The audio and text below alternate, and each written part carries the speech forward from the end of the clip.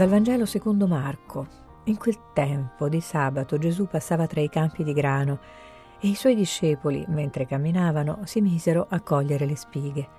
I farisei dicevano, Guarda, perché fanno in giorno di sabato quello che non è lecito? Ed egli rispose loro, Non avete mai letto quello che fece Davide quando si trovò nel bisogno e lui e i suoi compagni ebbero fame?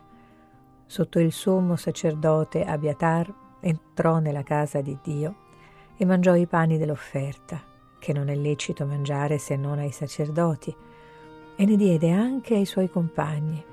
E diceva loro, il sabato è stato fatto per l'uomo e non l'uomo per il sabato.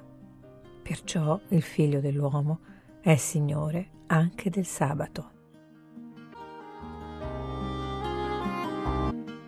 Anche oggi il Signore ci invita a fuggire il pericolo di dare più importanza alla forma che alla sostanza.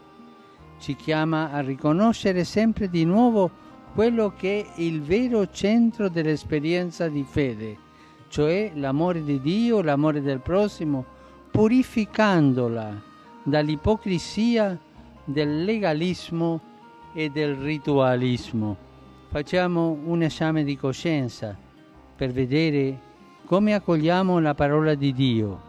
Alla domenica la ascoltiamo nella messa. Se la ascoltiamo in modo distratto o superficiale, ella non ci servirà molto. L'esempio e l'intercessione della Vergine Maria ci aiutino a onorare sempre il Signore col cuore, testimoniando il nostro amore per Lui nelle scelte concrete per il bene dei fratelli.